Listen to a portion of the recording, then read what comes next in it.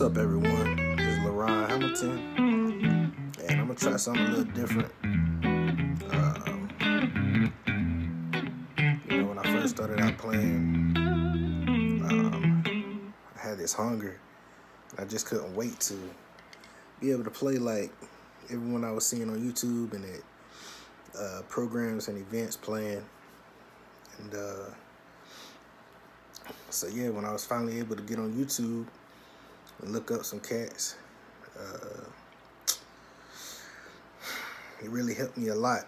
You know, all the free content that was online, and uh, everyone was giving back. And I was just trying to take, take, take all I could get, to learn all I could. But you know, I mean, I don't know everything. I'm not the greatest player, but what I do know, I'm willing to give and share to give back. So just uh, check it out and hope I'm able to help somebody else progress along their way, inspire someone else. Um, I'm tuned to E.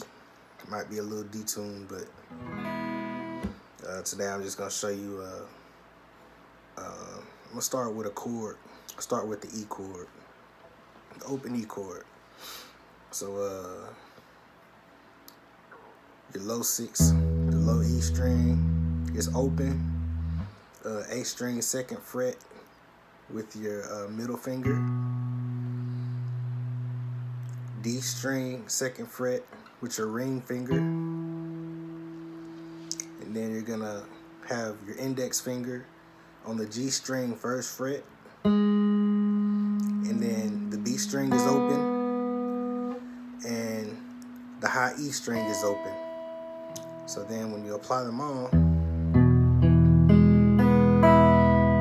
that gives you your open E chord. And the notes would be, that's an E. Then you have a B. Then you have another E. And then you have an A flat. Have the open B, of course, and the E.